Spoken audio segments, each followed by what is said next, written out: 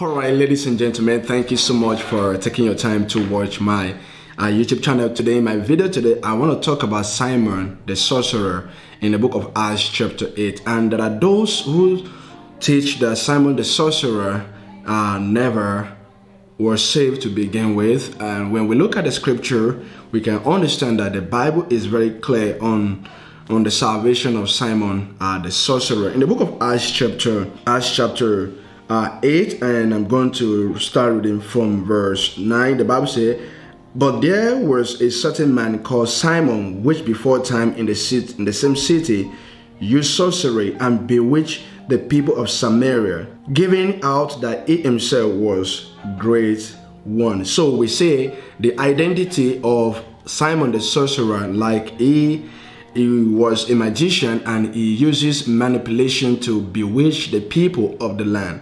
And then the Bible tells us in, in verse 13, the Bible said, Then Simon himself believed also. And when he was baptized, he continued with Philip and wondered, beholding the miracles and the signs which were done by him. Now, we can see in this passage of the scripture that the Bible tells us that, you know, when Philip preached the Bible, he preached the kingdom of God in verse 12.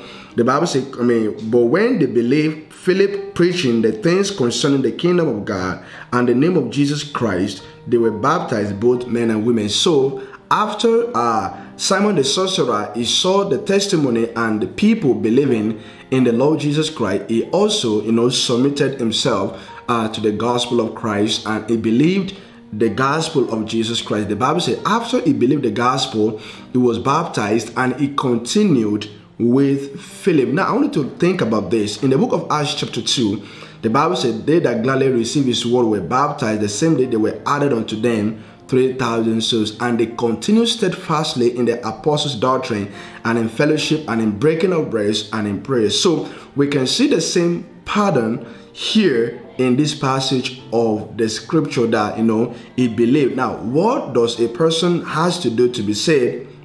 The bible says you know you have to believe jesus christ and you will be saved. And in the book of acts chapter 16 verse 30 and 31 now if you follow Ray Comfort Ray Comfort will try to tell you that because you know uh, simon the sorcerer later on he, he, he lost it after things that it was not supposed to lose after then it was not a good convert in the first place. He used the term it was a first convert and that will be further from the truth okay? Because we can understand that listen now even though you are saved sometimes believers they have wrong desires okay? They have they desire wrong things. They desire the things that are not according to the will of god things that they were not supposed to have. The same thing happened. And i will prove to you in this same passage that you know even after he lost it and he was rebuked uh, by peter you know what he said? He said pray that none of these things, okay, none of these things happen to me. We can see the genuineness of, you know,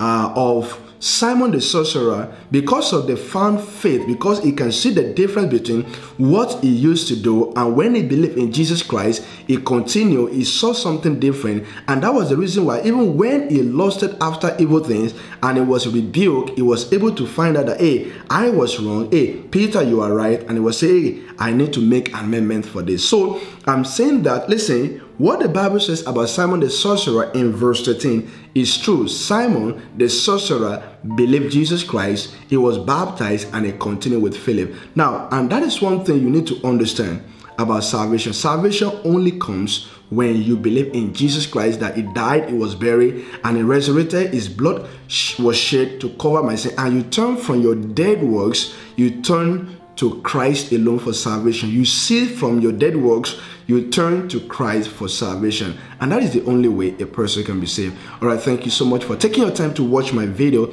If this video has been a blessing, uh, I would appreciate your subscription and God bless you. I will see you next time.